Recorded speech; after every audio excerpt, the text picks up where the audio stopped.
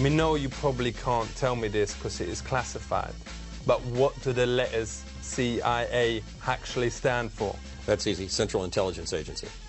Is that your real face? Yes.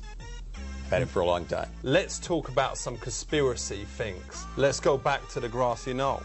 Who actually shot JR? Uh, J- JFK.